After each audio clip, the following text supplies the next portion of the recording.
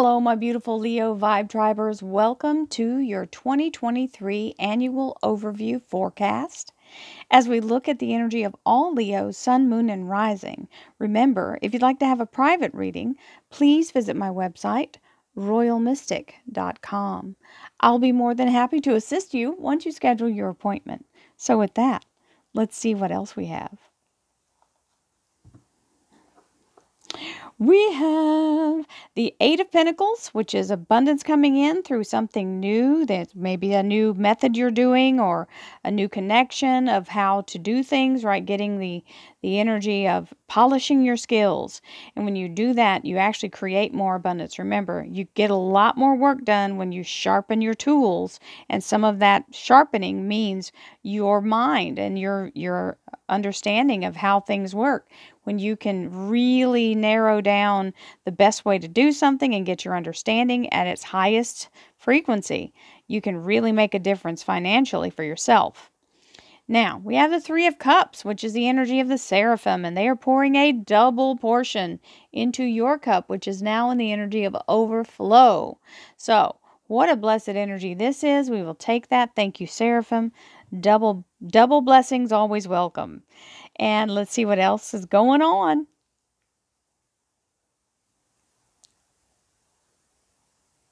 Thank you, angels, archangels, divine, pure, white light. Divine Spirit. Ooh, the Aquarius Star card. This is the energy of a yes to your soul's wish. This is a really beautiful energy of alignment, ascension, and being in the place of moving past things that are now in a lower frequency. So you're now up in the high frequency, making headway.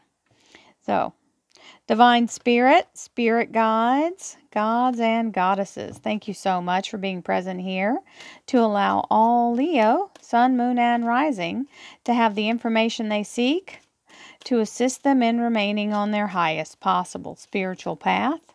We thank you so much, Divine, for these blessings and beautiful messages, and we receive them in the love and light for which they are intended. We thank you for this divine guidance as always, and we welcome your blessed energy. Thank you so much, Divine. You are always welcome and very appreciated. So, January looks like a new start here. This is the energy of something taking root. You may have already begun it, and now it's going to be in full full blown energy here. So it's very exciting energy. We like January. I'm just going to lay the rest of them out. February, March, and get on up there. Get it up high enough so y'all can see them all. April, May, June, July. Oh, that's two. I'm going to take the top one. July and August, September, October,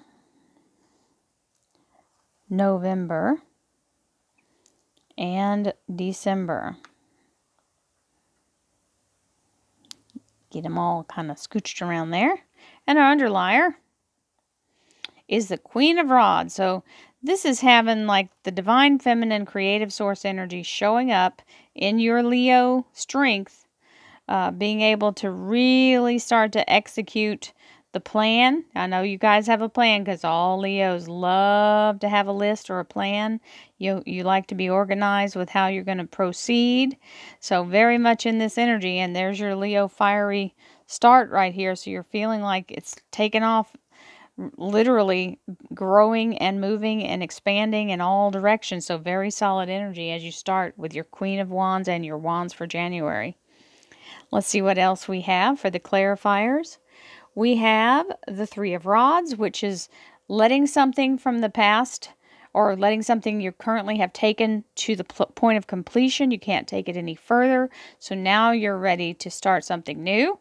And it's not that you're abandoning this. It's it can stand on its own. You've got that taken care of and handled. But now you're ready to add to your repertoire, so to speak, and you're stepping in that new direction. Let's see what else we have. Thank you, angels, archangels, divine, pure white light, divine spirit, spirit guides, gods and goddesses, thank you so much for being present here to allow all Leo, sun, moon, and rising to have the information they seek to assist them in remaining on their highest possible spiritual path. We thank you so much, Divine, for these blessings and beautiful messages, and we receive them in the love and light for which they are intended. We thank you for this divine guidance as always, and we welcome your blessed energy. Thank you so much, Divine. You are always welcome and very appreciated. So, we've got our clarifier for January, February, March, April, May, June, July, August, September, October, November, and December. The underlier for the clarifiers is the Empress energy, which goes right along with this Queen. So she's the muse. She is the muse of all creation, the goddess energy and she is the fertility of ideas and new beginnings. So she's here to help you set that in motion with the guidance that you need and the assistance and inspiration you need showing up. So we'll take that very solid. When you see the feminine versus the masculine, the feminine is the fertility and new growth. The masculine is solid foundation and strength that's already there. It's, it's able to sustain now, here's January's energy. We're going to start off with that Ace of Wands and the Archangel Michael. Not a bad combination. Archangel Michael is the energy of assisting you. He's the King of Swords. He's assisting you in moving forward, protecting you, and guiding you as you move on this new path, as you move into that new energy. You are being escorted and helped. It can also be someone who is an air sign. It may be in your sun, moon, or rising signs or a person in your life. So Aquarius, Libra, and Gemini major arcanas are also noted in that energy. And then we have February. Hello, change. So here's the energy of the death card, which is helping you to understand and to receive the purging and clearing of all that no longer serves you, letting that go, and a fresh, clean slate starting. So, this also may mean you're finally getting yourself into a position where you can let go of the things that have been kind of dragging you down or being a nuisance. Uh, and or just something that's been interfering with your progress. The cosmic garbage man is here to take out the trash. So out it goes and in with the new. Then we have the Eight of Pentacles, which is where you're really polishing your skills, still dialing in the, the, the energy of learning and mastering something to the point that you have there's nothing else that you could possibly know about it because you have you have done it so many times you have experimented and done it different ways so many times you know exactly the formula and so that formula brings in this abundance right on top of that new beginning so we love that. It's a very good confirmation for the new set in motion card you have up there. And March, so we have the Scorpio and the Eight of Pentacles for February. March is, oh, hello, you got another Scorpio energy, the death card twice. So this is where you feel like you're stuck, though. This is where you're doing all the work and you're learning, and so you're kind of busy, you're not really noticing. And then you feel like, okay, I've done everything. I've got all my qualifications. I've I'm expert at this now. I should be able to move forward, but I don't I'm not getting any nudges from anywhere. Be still. You're right on the edge of that breakthrough. Your foot is on it. It's just waiting for it to, to, to notice you, right? Or to react to it. That's better than notice. It notices you. You just have to wait. It's just like if you were, um, you know, you know how you get a little ticket when you go somewhere sometimes they call your number and you win a prize well you can't leave the party if you expect to win the prize so stay there be patient don't move any second this is telling you it's surrounding you the death card energy is that moment where the breakthrough happens, my Leos, and you want to be present to claim that because you've done all the work and you are more than ready and and and worthy of receiving it. So, remember that. This is as close as you can be to the breakthrough before it actually happens. That's March. April. Ooh, very nice. So, I would consider this breakthrough energy. How about y'all? You've got the happily ever after, which is the energy of the Ten of Cups, and this could be uh, a new a new place of living, a new abode, or it could be just everybody finally getting that energy of where you feel like your household is flowing and all the energy is harmonious and everybody's happy, because you also have the Fool, and the Fool is a new journey beginning leaving the old behind. Now you've closed the door to this Scorpio death card energy. This is closing the door. This is ending what it was that was closing out and beginning the brand new, fresh, clean start. Okay? This is the way everybody wants a change. The Fool is the smooth closure of one way, moving right into the energy of the new way without missing a beat. And I like to say without missing a paycheck. So, very solid energy here when the Fool card starts moving forward with this Ten of Cups. Tens are always a great energy because they mean cycle changes happening. So there's the, from your 9 to your 10, and from the, the moment of clearing is now done, and you're in the energy of the new with that Fool. So that's very solidly uh, linking itself together there. So that's April. Now this is May. Look at that. More money coming in than you expected or some kind of bonus, some some kind of uh, money that doesn't have to be paid back. And that is that 6 of pentacles, so it's a windfall energy. And it can also mean something turns out better than you'd hoped. And there's the action card, the Knight of Rods. It's telling you will be prompted when it's time to take action to, to either receive this or do what you're going to do with it. So beautiful energy there of May, getting getting unexpected abundance coming in. Or maybe it is expected, but it's coming in that you don't have to pay it back. Hello. And June, we have, oh, two queens. So you've got three queens so far out and one king. We've got the Queen of Cups and the Queen of Swords. So the Queen of Cups is your energy of let's make a change, let's do something new. I'm ready to do it. I'm thinking about doing it. I'm making a list. I can see the timing is starting to come in because the storm is storm clouds are lifting and I can see the the light through the clouds.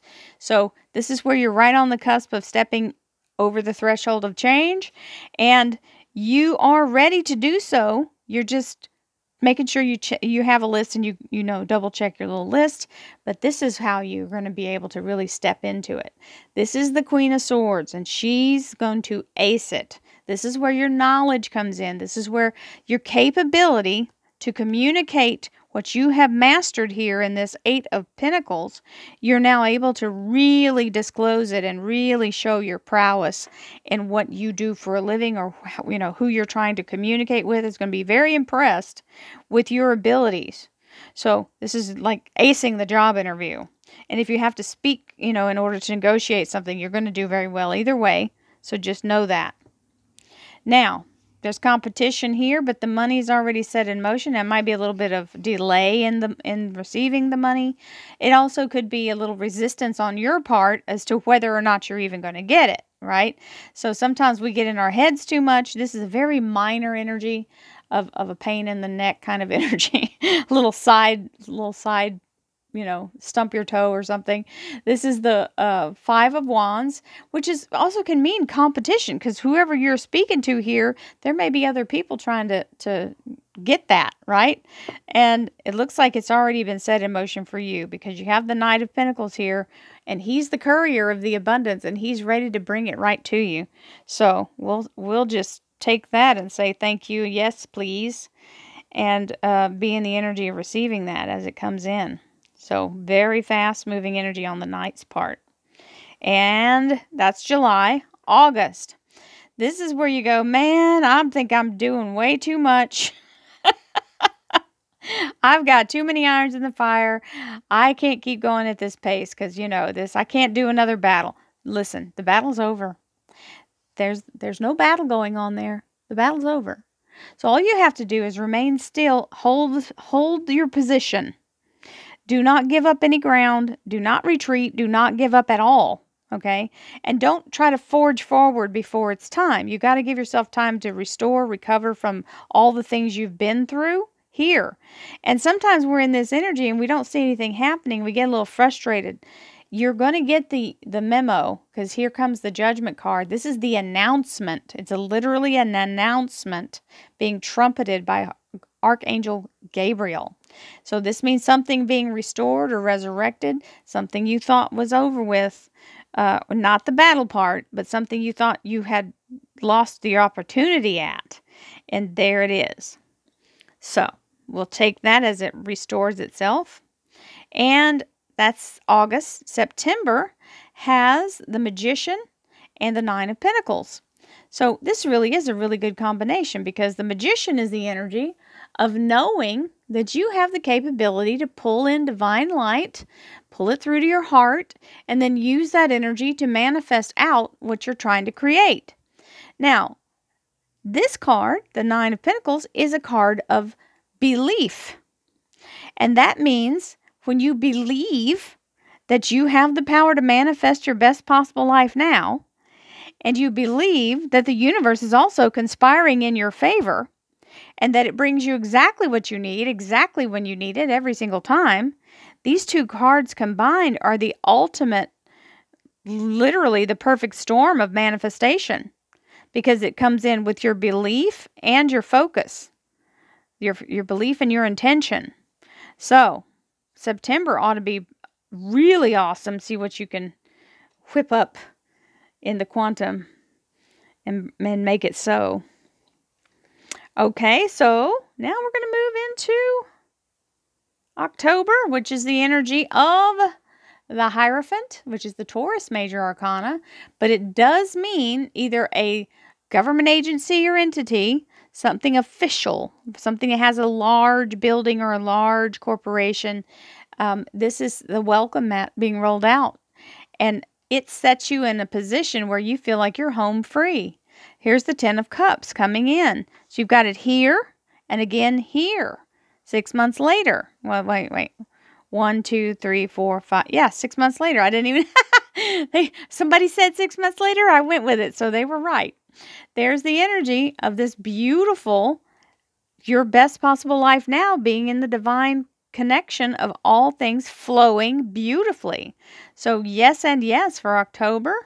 And and that's a beautiful confirmation. I mean, wow. And November. We have oh, there's the knight. Knight of Knight of Cup, uh, Knight of Cups. We got the Two of Cups and the Knight of Pentacles. We'll try that. So the Knight of Pentacles again, just like here. This is this is where there was a little bit of a fracas going on, but the Knight of Pentacles was set in motion. And then you have more money coming in. Now, these can be multiple streams of income. If you're someone who works with different clientele, these can be additional clients coming in, right? So, this Knight of Pentacles puts you in the energy with this Two of Cups. Now, this is a divine partnership. Now, yes, it's soulmate energy, and yes, it can be higher self ascension energy, but it's also divine partnership energy, as in business partnership.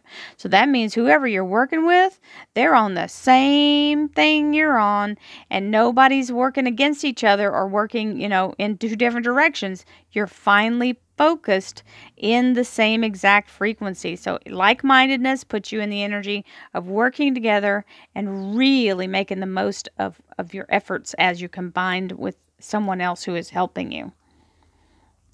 And last but not least, out of the blue, all of a sudden, like a lightning strike, a new doorway opens. That's the energy of stability and the energy of the future as you step through the doorway.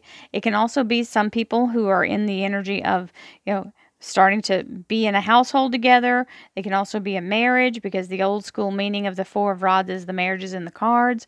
But it also means very good communication and working stability. So, out of the blue, you get this reinforcement coming in or a divine idea that gives you that particular piece of the puzzle. So, my Leos, this is an amazing reading with lots of money, lots of energy of stability, and everything working in your favor. So, this year, you should really be able to take that big stride forward and literally let the death card help clear out all that old stuff because it is nothing going to be able to hold you as long as you can let go of it and not keep it with you. So, my darlings, I send you lots of love in this brand new year, and I will see you soon. Namaste.